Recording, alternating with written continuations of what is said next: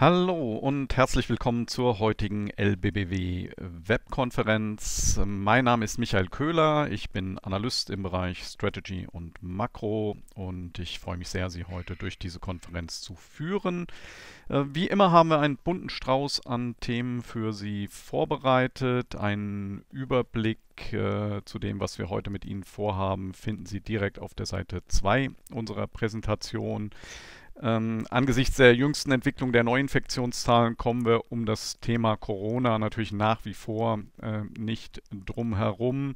Äh, dazu wird der äh, Kollege Martin äh, Güth äh, gleich unsere aktuelle Einschätzung abgeben und insbesondere wird er sich äh, mit der Frage beschäftigen, die wir auch unser, auf unser Update auf die Titelseite geschrieben haben, nämlich die Frage, ob uns die vierte Welle doch noch zu umfangreichen Einschränkungen zwingt.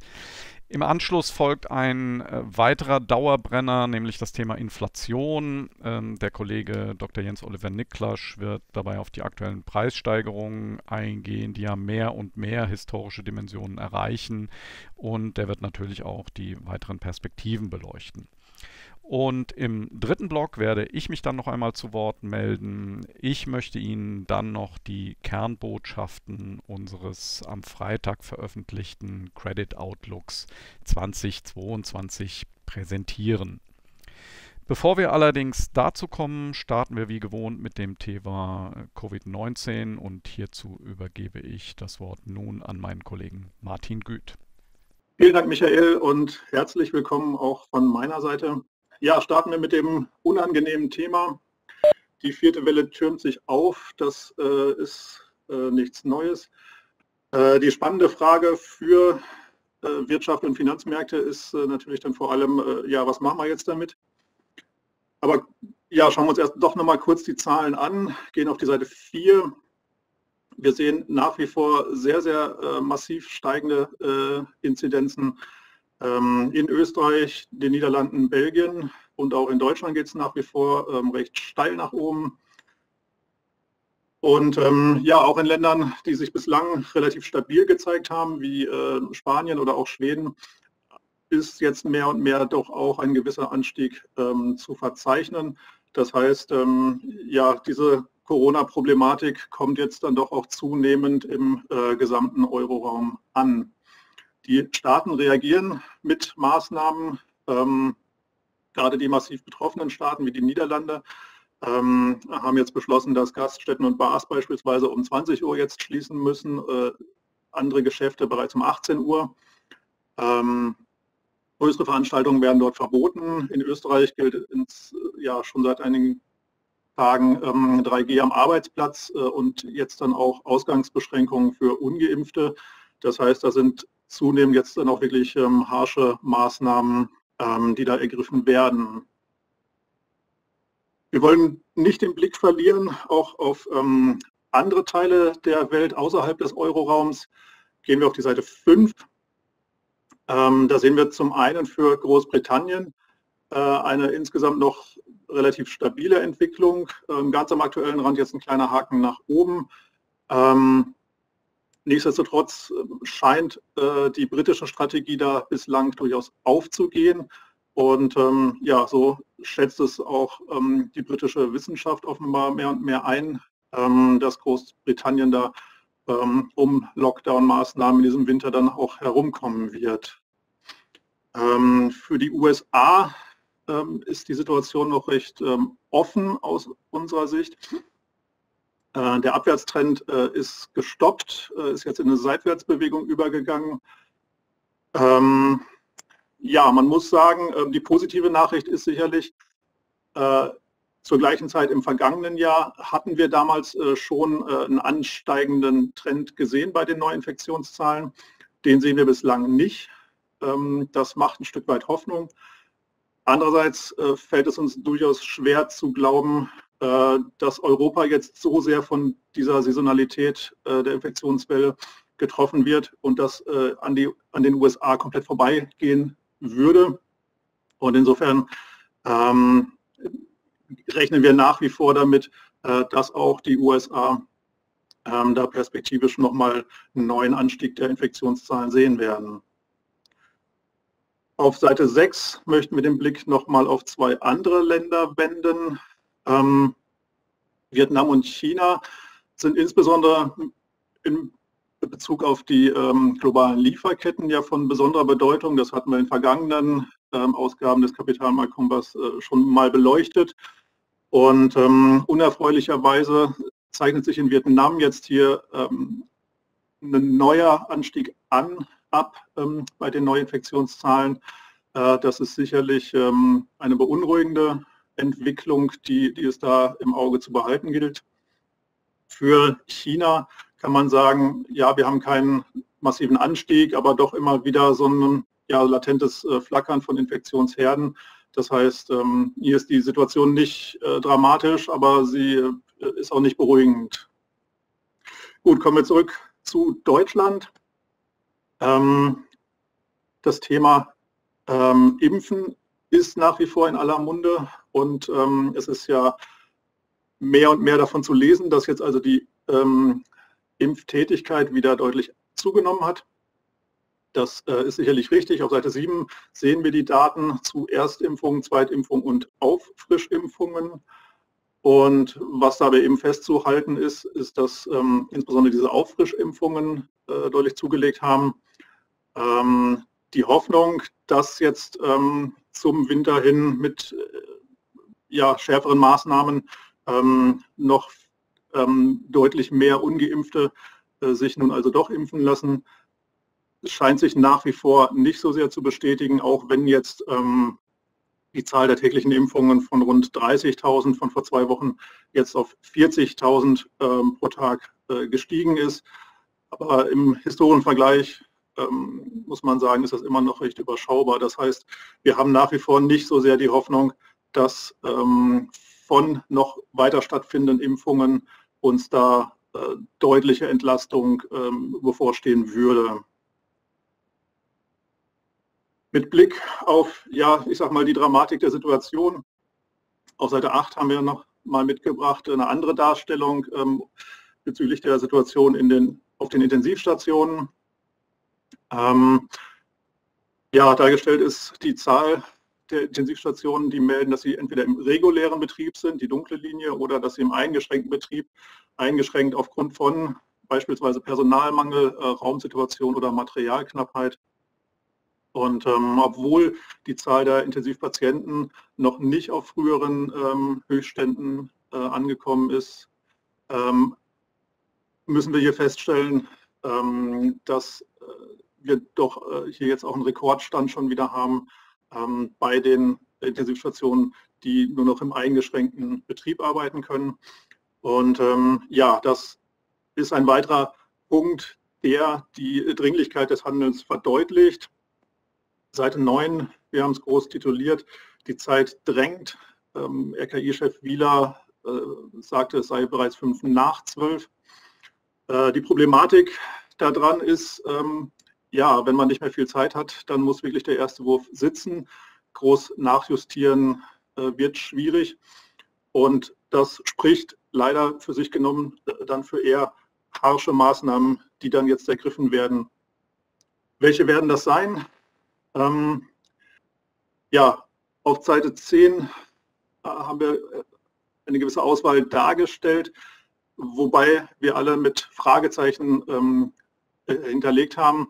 Ähm, ich will an dieser Stelle gar nicht so sehr darüber jetzt noch mutmaßen, was dann beschlossen wird, weil ähm, übermorgen am Donnerstag ähm, findet zum einen die nächste Bund-Länder-Konferenz statt und zum zweiten soll dann äh, die Novelle äh, zum Infektionsschutzgesetz durch den Bundestag gehen. Und das heißt, übermorgen wissen wir dann ohnehin schon mehr. Nichtsdestotrotz möchte ich auf die einzelnen zur Diskussion stehenden Maßnahmen noch kurz eingehen. Ähm, ja, Thema Arbeitsplatz. Ähm, Homeoffice wird offenbar wieder zum Thema. Ähm, aus unserer Sicht sicherlich sinnvoll. Ähm, auch 3G am Arbeitsplatz ähm, ist da sehr stark im Gespräch. Das ist noch eine der unkritischeren Maßnahmen aus unserer Sicht. Ähm, heikler wird es jetzt mit Blick auf Einzelhandel, ähm, öffentlicher Nah- und Fernverkehr. In Baden-Württemberg äh, sind wir jetzt soweit, dass äh, vermutlich, dass ab morgen offenbar dann äh, die Alarmstufe erreicht ist. Das heißt, ähm, Einzelhandel ist dann nur noch mit 3G äh, möglich, also zumindest für Geschäfte, ähm, die nicht äh, Artikel des täglichen Bedarfs verkaufen. Und ähm, ja, auf, mit Blick auf Bundessicht ähm, hat der Einzelhandelsverband HDE äh, schon mal gewarnt, dass auch wenn die Geschäfte dann natürlich offen blieben, ähm, so eine Pflicht äh, durchaus Auswirkungen auf äh, die Geschäfte und die Händler hätte. Ähm, auch für Gastronomie, Bars, Clubs und Kultur stellt sich die Frage, ja, nach 2G, nach 3G, nach möglicherweise ähm, ja, Beschränkungen der Öffnungszeiten oder der Kapazitätsauslastung, wobei das für Deutschland jetzt noch nicht so sehr geplant ist, aber die Niederlande, wie erwähnt, äh, sind hier schon vorangegangen. Ähm, große Veranstaltungen ähm, bleiben sicherlich ähm, ein sehr intensiv diskutiertes Thema. Gerade heute kam die Meldung, dass die Stadt München ihren Weihnachtsmarkt äh, abgesagt hat. Ähm, das heißt, auch von der Seite drohen da gewisse ähm, wirtschaftliche Belastungen. Und ähm, ja, ganz generelle Natur sind einfach die Kontaktbeschränkungen beziehungsweise das ja dann doch erfahrungsgemäß zunehmend ausbreitende ähm, Verhalten der Menschen, dass sie sich einfach ähm, selbstständig zurücknehmen angesichts des Risikos, ähm, sich irgendwo anzustecken. Und insofern unser Fazit, ähm, ja, ein Lockdown ähm, wird aller Voraussicht nach vermieden, aber nichtsdestotrotz ähm, wird das Ganze nicht ohne Belastung äh, für die Wirtschaft vonstatten gehen. Und ähm, ja, im Einzelfall können die durchaus dann doch auch mal ähm, nennenswert dann sein. Soweit zu Corona. Ähm, ich gebe weiter an meinen Kollegen Dr. Jens Oliver Nickler. Ja, hallo, äh, schönen guten Tag und grüß Gott auch von meiner Seite. Äh, täglich oder monatlich grüßt das Murmeltier, könnte man sagen, mit Blick auf Corona jetzt schon ein, dreiviertel Jahr. Und wenn man sich die Inflation anschaut, noch nicht ganz so lange, ein halbes Jahr vielleicht, aber äh, was man doch sagen muss, äh, wir haben ja, wir, wir haben in, inzwischen im Prinzip äh, Inflation auch als feste Rubrik. Wenn man sich das mal anschaut, auf der Seite 12 äh, sozusagen zur Auffrischung jetzt an sich nicht viel Neues, aber äh, man sieht hier, wie deutlich das seit Jahresbeginn und vor allem seit dem zweiten Halbjahr nach oben gegangen ist im Euroraum. Ähm, und äh, Hauptpreistreiber sind die Energiepreise und im Prinzip hätte das sogar noch äh, schlimmer ausfallen können. In Spanien äh, hatten wir zum Beispiel eine temporäre Senkung der Mehrwertsteuer auf Energie von 21 auf 10 Prozent. Das liegt daran, dass äh, in Spanien die äh, Strompreise viel schneller reagieren auf Veränderungen der Rohstoffpreise, in dem Fall speziell äh, Veränderungen der Erdgaspreise. Und in Frankreich hatten wir jetzt zwar keine Veränderung der Inflationsrate, aber da hatten wir diese Einmalzahlung an einkommensschwache Haushalte oder vielleicht werden die auch noch ausgezahlt, aber jeder soll 100 Euro bekommen, jeder Haushalt mit einem Einkommen von unter 2000 Euro. Also es kommt einiges zusammen und wenn man äh, mal kurz schließt, äh, das Ganze mit, mit dem Plan, die CO2-Abgaben zu verteuern, um den CO2-Ausstoß zu verringern, äh, man sieht doch sehr schnell, man kommt damit an die Grenzen, wenn Energiepreise wirklich innerhalb kurzer Zeit recht stark ansteigen, dann haben wir sofort äh, Debatten, was die Verteilungsgerechtigkeit oder was überhaupt die Tragfähigkeit solcher Preise insbesondere für einkommensschwächere Haushalte angeht. Wenn man sich mal die Seite 13 anschaut, in Deutschland äh, ähnliches Bild, aber etwas anders äh, hier in den Untergruppen aufgrund der Mehrwertsteueranhebung äh, in Deutschland verteilt sich das sozusagen gleichmäßiger auf die verschiedenen Warengruppen der Anstieg und äh, das absolute Niveau ist dafür dann auch äh, höher als im Euroraum. Ähm, hier vielleicht vorausschauend, äh, wir haben ja äh, ab 01.01.2022 eine Reihe von Effekten. Also das bekannteste ist sicher der Wegfall der, äh, dieses Mehrwertsteuereffekts, weil äh, die Mehrwertsteuer sozusagen dann year on year sich um 0% verändert hat. Äh, das bringt alles in allem vielleicht so grob um die 1,5 äh, Prozentpunkte. Dazu haben wir noch die CO2-Abgabe, die ja Anfang dieses Jahres eingeführt wurde. Die soll auch äh, planmäßig im nächsten Jahr erhöht werden. Das ist zumindest bislang äh, Gesetz. Die Frage ist, ob das zum Beispiel nochmal verschärft wird, aber noch laufen die Koalitionsverhandlungen ja. Und bei dem aktuellen Stand äh, würde das um 0,1 Prozentpunkt die Inflationsrate erhöhen. Also 0,5 Prozentpunkte fallen da sozusagen weg, 0,1 Prozentpunkt kommt dazu. Alles in allem müsste dann die Inflationsrate im, äh, zu, zu, Beginn des kommenden Jahres relativ zügig um äh, 2 Prozentpunkte äh, auf etwa 3 Prozent fallen, weil wir bis Jahresende so an die 5 Prozent rankommen, aber diese Marke vielleicht knapp verfehlen werden, wobei auch das natürlich nicht sicher ist. Wir haben ja heute gesehen, wie die Erdgaspreise reagiert haben, nachdem äh, die Zertifizierung der Nord Stream 2 Pipeline ausgesetzt wurde. Also da ist äh, sehr viel Musik drin in den Energiemärkten, auch in anderen Rohstoffmärkten natürlich. Ja, und auch diese Woche gab es ja die Financial Week oder läuft noch äh, in Frankfurt und ähm, auf der Auftaktveranstaltung warnte der Chef einer großen deutschen Bank vor länger anhaltender Inflation. Äh, das fand ein großes Medienecho. Ja, woher äh, kommt jetzt die Weisheit, wenn man sich mal Seite 14 anschaut? Äh, ist jetzt vielleicht nicht so ein großes Geheimnis. Der Preisdruck auf den vorgelagerten Stufen ist sehr hoch. Ähm, und hier kommen wir wirklich in historische Dimensionen. Das klang ja schon mal an. Äh, wir haben sowieso Verbraucherpreise, die so hoch sind wie äh, seit kurz nach der Wiedervereinigung nicht mehr. Ähm, und wir haben äh, zum Teil im, im, Bereich der Importpreise, müssen wir sogar noch ein Stück weiter zurück bis Anfang der 80er Jahre, äh, also bis zum zweiten Ölpreisschock sozusagen.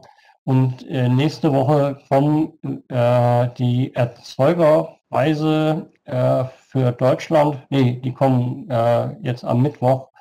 Ähm, und wenn das Modell recht hat, da kommen wir dann über die Marke von 15 Prozent. Und das wäre dann sogar eine Größenordnung, die wir seit 1951 äh, nicht mehr gesehen haben. Also da muss man zurückgehen sozusagen in die Zeit von Fritz Walter und äh, den schwarz-weiß äh, Tonschauen im Kino äh, eigentlich eine, eine, Zeit, die man sich gar nicht mehr vorstellen kann. Aber das äh, wäre tatsächlich dann ein, äh, ja, also eine, eine historisch zu nennende, nennende Dimension.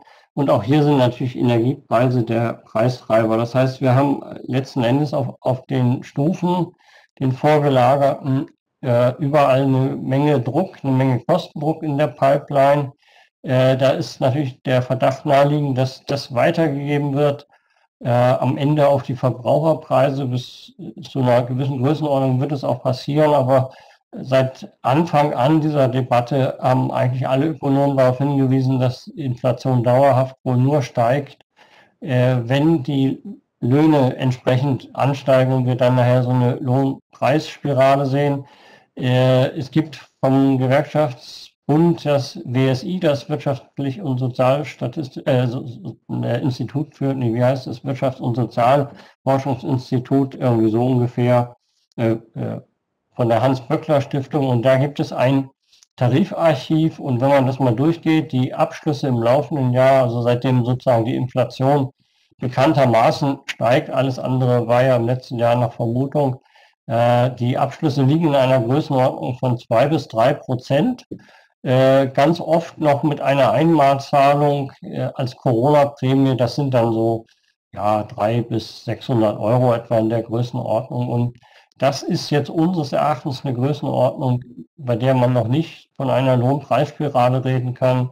Äh, wir rechnen so mit einer Steigerung der Arbeitsproduktivität von etwa einem Prozent. Das ist ein guter Durchschnittswert der letzten zehn Jahre in etwa. Und wenn man das abzieht, also sagen wir zweieinhalb Prozent oder minus ein Prozent, dann hätte man Inflation in einer Größenordnung von 1,5 Prozent jetzt die völlig vereinbar wäre mit der Entwicklung der Arbeitsproduktivität und der Entwicklung der Lohnkosten. Also das äh, ist weit weg von den aktuellen Werten, wobei man natürlich sagen muss, äh, this time is different. Also in, insofern vielleicht als ähm, diese, diese äh, Erfahrung, dass Energiepreisschocks eigentlich immer nur sehr kurz anhalten, dass wir also vielleicht mal einen sehr starken Anstieg der Rohölpreise haben, so war es in der Vergangenheit, das ist dann vielleicht nach einem Jahr äh, wieder Geschichte und dann beruhigt sich die Sache.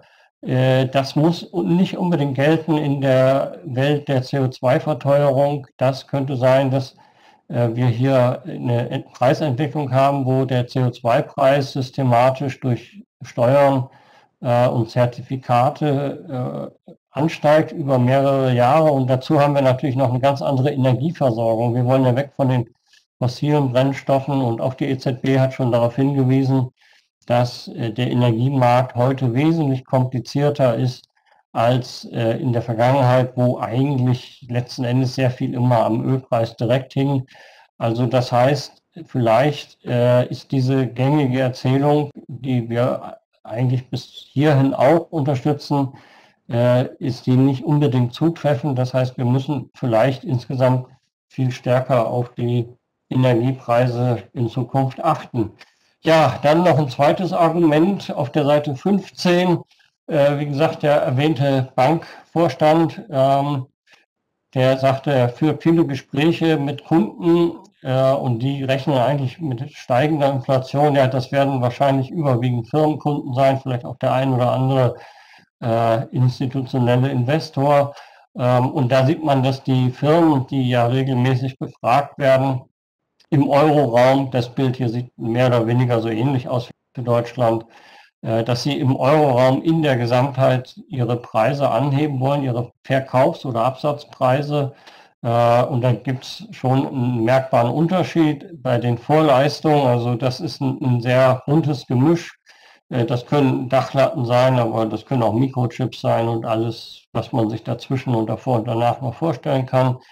Äh, da will jede zweite Firma die Preise anheben im Saldo. Also das, das hier ist der Saldo. Es könnte also durchaus sein, dass es auch Firmen gibt, die die Preise sogar senken wollen, aber dafür wollen dann äh, andere Firmen wiederum äh, die, die Preise anheben. Also im Saldo etwa jede zweite und bei den anderen Gütergruppen, Nahrungsmittel und Gebrauchsgüter, äh, das ist natürlich das, was die privaten Haushalte am meisten interessiert. Da ist ungefähr jedes dritte Unternehmen. Also die Evidenz ist sehr stark, dass es äh, einen anhaltenden Preisdruck gibt und deswegen rechnen wir und auch zunehmend andere Häuser und Marktbeobachter und auch übrigens die Europäische Zentralbank damit, dass zwar die Inflationsrate im kommenden Jahr fällt, aber äh, eben nicht ganz so schnell wie vielleicht noch vor, vor drei Monaten allgemein erwartet. Ja, das ist auch im Markt nicht spurlos vorbeigegangen, wenn man sich mal anschaut. Auf der Seite 16 die Markterwartung, diese 5-Year, 5-Year Inflation Swap Forwards, auf die die EZB ja oft hingewiesen hat als äh, Maßstab oder als Indikator für die mittelfristige Inflationserwartung am Markt, also die äh, gehandelten Inflationserwartungen in fünf Jahren für die darauffolgenden fünf Jahre, die äh, liegen ganz knapp nur unter zwei, waren sogar zwischendurch mal drüber. Äh, und wenn man zurückschaut, waren die so Anfang des Jahres bei gerade mal 1,2, 1,3 Prozentpunkten. Da hat sich eine Menge getan.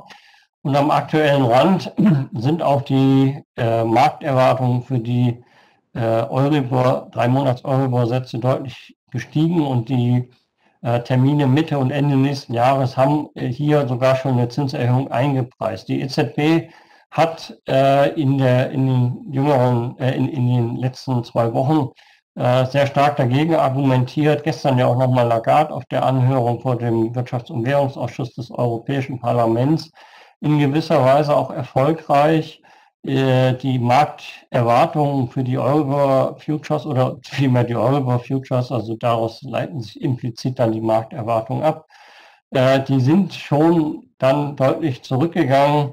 Äh, das heißt, es wird weniger erwartet, aber es wird immer noch eine Zinserhöhung für der EZB ab Mitte nächsten Jahres ungefähr eingepreist. wir denken nicht, dass die EZB das vorhat. Man kann es vielleicht auch nicht mit letzter Sicherheit ausschließen.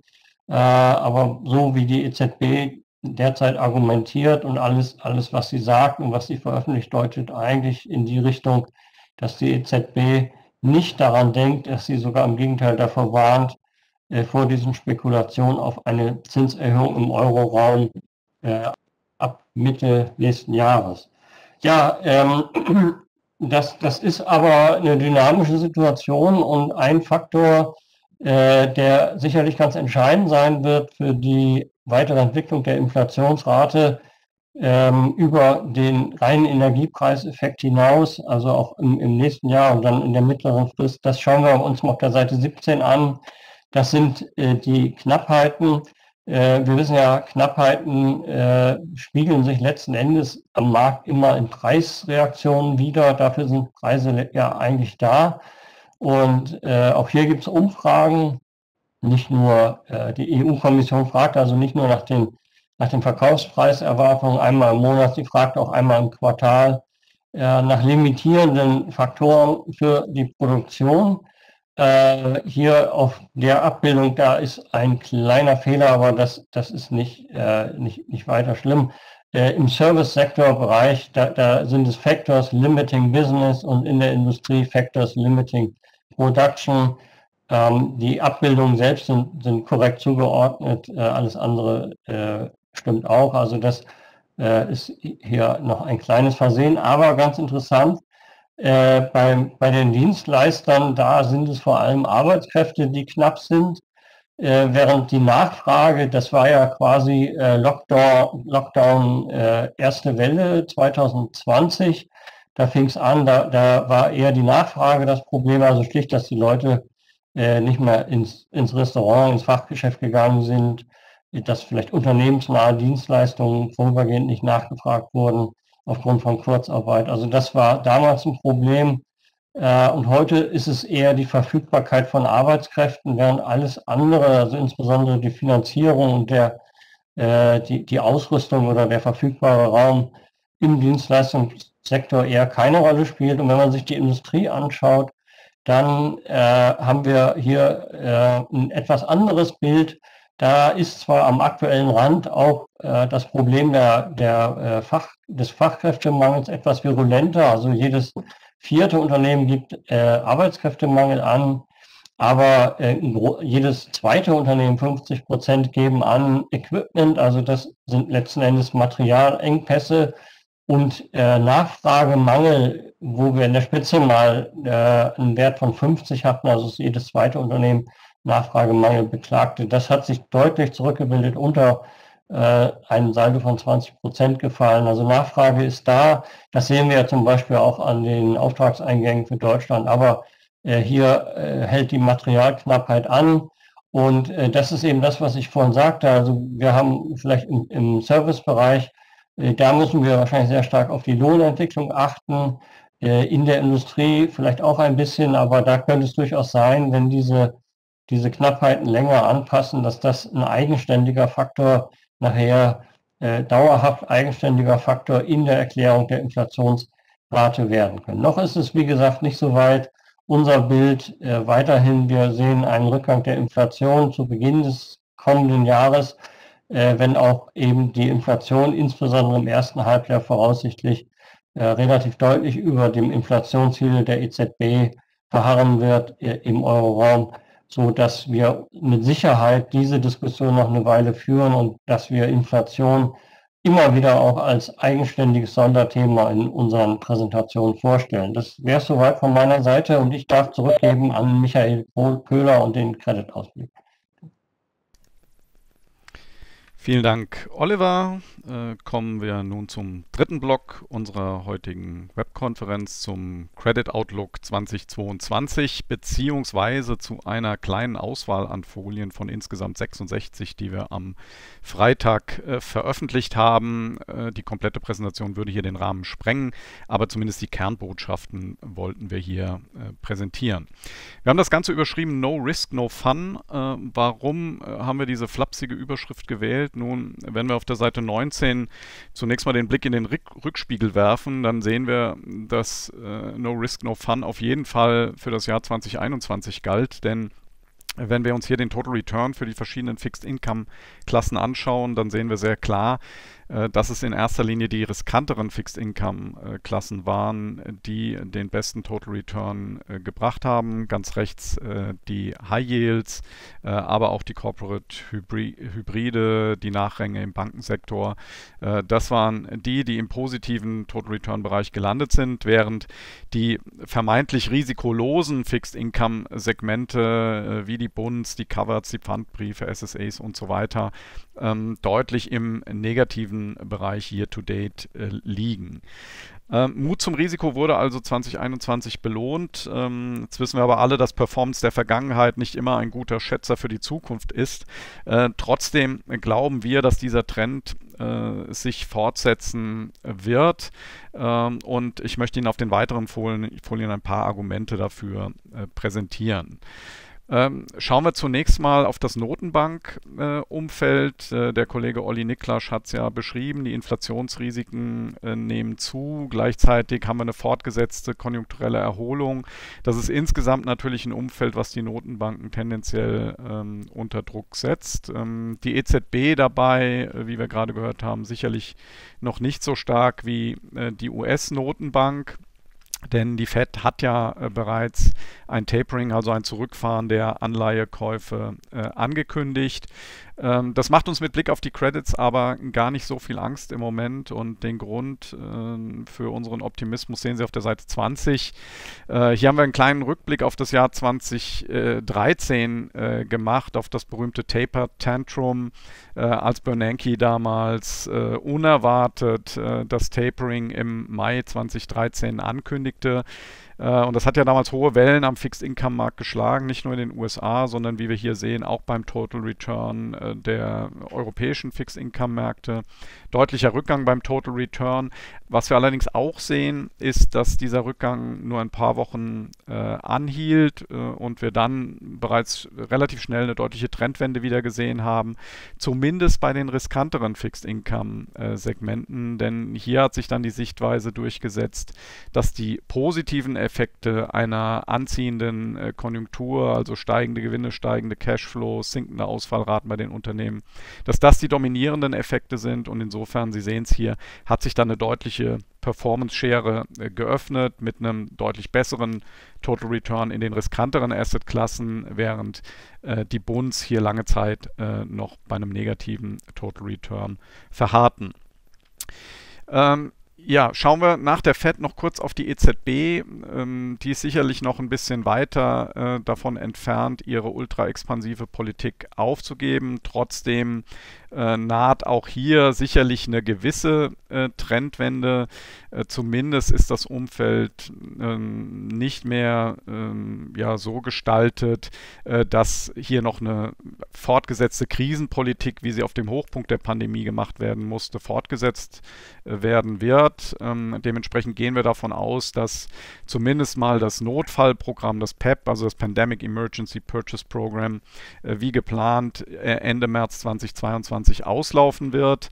Äh, was allerdings natürlich weiterlaufen wird, das sind die regulären Kaufprogramme, nicht zuletzt das CSPP, also das Corporate Sector Purchase Program. Und insofern äh, wird die EZB natürlich weiter Corporate Bonds ähm, kaufen, nicht mehr in dem Ausmaß wie auf dem Hochpunkt der Krise 2020 oder 2021. Aber Sie sehen es rechts in unserer Prognose. Wir gehen für das nächste Jahr immer noch von EZB-Käufen im Volumen von 50 Milliarden Euro an Corporate Bonds aus. Ähm, das ist weniger als in den beiden vergangenen Jahren, aber es ist in etwa das Niveau des Jahres 2018 und es ist immerhin etwa das Dreifache des Jahres 2019. Also man kann hier nach wie vor nicht davon reden, dass hier in irgendeiner Form Gegenwind von der EZB für die Corporates droht, äh, sondern es ist allenfalls etwas weniger Rückenwind. Das Ganze ähm, trifft gleichzeitig auf eine Situation bei den Unternehmen, in denen sich die Unternehmen schon sehr deutlich von der Krise erholt haben. Das sehen wir besonders auf der Seite 22 mit Blick auf die Gewinnerwartungen. Wir haben hier ähm, den Vergleich mit der Finanzkrise äh, angestellt. Äh, Finanzkrise ist die grüne Linie, aktueller Zyklus die dunkelblaue Linie. Da sieht man sehr deutlich, dass die äh, Gewinne auf einem deutlich höheren Niveau und deutlich früher gedreht haben als, als in der Finanzkrise und dass wir mittlerweile äh, das Vorkrisenniveau äh, schon überschritten haben. Also mit Blick auf die Gewinnentwicklung ist die Trendwende ohne Frage gelungen. Ja, aus Sicht des Credit-Investors ist natürlich immer spannend, was machen die Unternehmen mit diesen steigenden Gewinnen. Und hier haben wir eine weitere positive Botschaft auf der Seite 23, denn die Unternehmen haben diesen Gewinnanstieg unter anderem dafür genutzt, die Rekordverschuldung, die im Rahmen der Krise entstanden war, wieder deutlich abzubauen. Das gilt sowohl für die Bruttoverschuldung, hier in dunkelblau dargestellt, als auch vor allem für die Nettoverschuldung. Das sind die grünen Balken, die Sie hier sehen. Ähm, bei der Nettoverschuldung haben wir im abgelaufenen Quartal jetzt das sechste Quartal in Folge gesehen, in dem es gelang, ähm, die Nettoverschuldung gegenüber dem Vorjahresquartal zu senken. Also insgesamt ein sehr, sehr positiver Trend, den wir hier sehen, äh, wie wir es auch an anderer Stelle ähm, und äh, wie wir auch schon häufig betont haben in anderen Veranstaltungen, Ausfallraten sind wieder deutlich runtergekommen und liegen mittlerweile schon wieder unter dem langjährigen Durchschnitt. Ja, große Frage bei den äh, Credits. Äh, wie geht es weiter äh, mit den Spreads? Wie viel von dieser positiven Entwicklung ist denn auf dem aktuell niedrigen Spread-Niveau schon eingepreist? Sie sehen auf der Seite 24 dargestellt die Spread-Entwicklung in dunkelblau jeweils in den beiden Grafiken. Und zusätzlich haben wir hier abgetragen zwei Frühindikatoren. links das IFO-Geschäftsklima und rechts das Economic Sentiment für die Eurozone. Ähm, beide Frühindikatoren jeweils auf einer inversen Skala rechts äh, dargestellt. Also fallende Linie steht hier für steigende Frühindikatoren und umgekehrt. Und ähm, ja, wie man hier sehr schön sieht, es gibt einen sehr engen Zusammenhang zwischen Frühindikatoren und Spreadentwicklung. Das macht ja auch ökonomisch Sinn. Je besser die Perspektiven, desto niedriger der Risikoaufschlag. Ähm, wenn wir jetzt aber hier mal die linke und die rechte Grafik vergleichen, dann fällt hier ein deutlicher Unterschied auf. Äh, wenn wir das Ganze durch die deutsche Brille sehen und hier auf das IFO-Geschäftsklima schauen, das die vergangenen Monate ja deutlich runtergekommen ist, also in dem Fall hier eine steigende Linie, ähm, dann würde das tendenziell eher für höhere Spreads in den kommenden Monaten sprechen. Aber äh, für unsere Begriffe greift dieser Blick durch die deutsche Brille hier zu kurz. Ähm, Deutschland ist nun mal ein Land, das aktuell sehr stark von der Lieferkettenproblematik äh, getroffen wird als sehr exportorientiertes Land. Äh, in der rechten Grafik sieht das Bild ganz anders aus mit Blick auf das Economic Sentiment für die gesamte Eurozone. Nach wie vor auf einem sehr, sehr hohen Niveau. Und wenn wir darauf schauen, dann hätten wir sogar eher ein Potenzial für noch eine leichte Spread-Einengung. Also unser Bild ist im Moment, dass wir im kommenden Jahr vielleicht in Richtung der äh, All-Time-Lows bei den Spreads des Jahres 2018 laufen könnten. Ja, was bedeutet das Ganze dann in Summe für die Performance-Erwartungen im kommenden Jahr? Wir haben es auf der Seite 25 zusammengefasst für drei Fixed-Income-Klassen, links für die Bunds, in der Mitte für die Investment-Grade Corporates und rechts für die High Yields. Ähm, die entscheidende äh, Zahl finden Sie hier jeweils an dem hellblauen äh, Strich. Das ist die, der erwartete Total Return für die kommenden zwölf Monate. Die dahinterliegenden Balken erklären, wie wir zu, diesem, zu dieser Total Return Prognose kommen, anhand der einzelnen Performance-Komponenten, also aktuelle Rendite, erwartete Renditeveränderung mit einem entsprechenden Performance-Beitrag. Ausfälle müssen im High-Yield-Bereich natürlich abgezogen werden. Äh, und wenn wir diese einzelnen Balken dann aufaddieren, landen wir eben bei diesen äh, hellblauen Strichen und beim gesamten äh, Total Return für die kommenden zwölf Monate. Und ja, wenn Sie sich das anschauen, dann äh, kommen wir wieder raus bei unserer äh, Überschrift, die wir gewählt haben, No Risk, No Fun. Ähm, wir gehen auch für die kommenden zwölf Monate davon aus, dass es ohne ein gewisses Maß an Risiko kaum möglich sein wird, einen positiven Total Return im Fixed Income Bereich äh, zu erzielen. Performance-Aussichten sind insgesamt äh, sehr, sehr bescheiden. Bei den Bunds erwarten wir wie auch in diesem Jahr äh, wieder einen negativen Total Return in den kommenden zwölf Monaten. Besser sieht es im Investment-Grade-Bereich aus. Da haben wir einfach eine höhere Ausgangsrendite, deswegen einen besseren Puffer. Letztendlich sollte es aber auch dort nur zu einer schwarzen Null beim Total Return reichen. Und ja, wenn man dann signifikant positiv äh, rauskommen möchte bei der Performance, äh, muss man wahrscheinlich in Richtung High Yields, in Richtung Hybride äh, gehen. Im High Yield-Bereich, Sie sehen es hier, erwarten wir immerhin dann noch knapp 3% Performance. Alles in allem sehr bescheidene Performance-Aussichten, aber das haben wir schon vor einem halben Jahr so formuliert. Credits bleiben für uns im Fixed-Income-Bereich das kleinere Übel. Ja, so viel zu unserem Credit Outlook 2022 in aller gebotenen Kürze und so viel auch zu unserem heutigen Kapitalmarkt Kompass Update. Damit äh, sind wir am Ende unserer heutigen Veranstaltung angelangt. Äh, wir bedanken uns ganz herzlich für Ihr Interesse und wünschen Ihnen noch einen schönen Tag. Auf Wiederhören.